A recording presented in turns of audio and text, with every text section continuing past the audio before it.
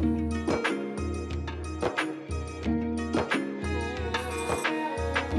जाकर जिया बनी है सौभाग्यवती। आज पूरा हुआ है जहानवी का सपना। सौभाग्यवती ने आज विराज की दुनिया को हमेशा के लिए त्याग कर राघव की दुनिया में जा रही है जहानवी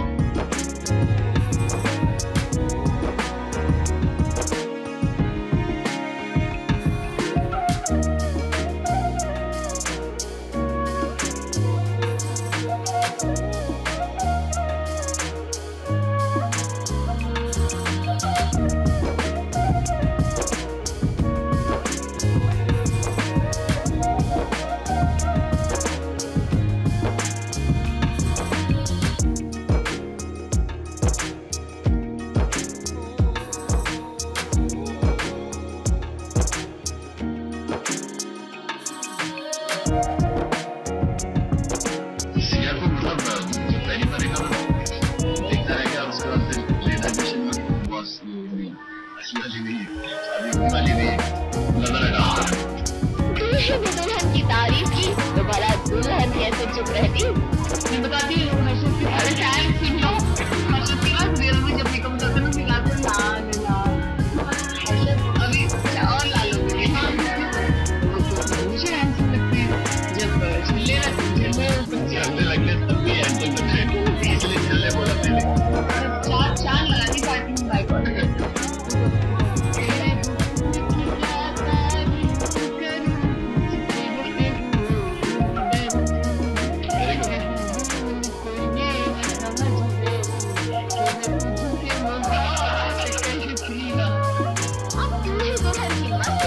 शादी की चकाचौंध को देखकर आप भले ही इस शादी को सच माने।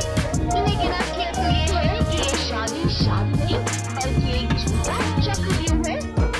वैसे कर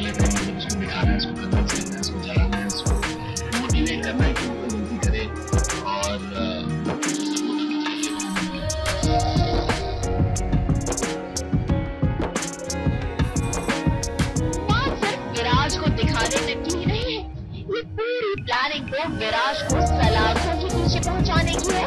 इसी के साथ सीरियल में आएगा सात साल का लीग तो अब देखते जाइए सीरियल की कहानी कब, कैसे और क्या मोड़ लेती है।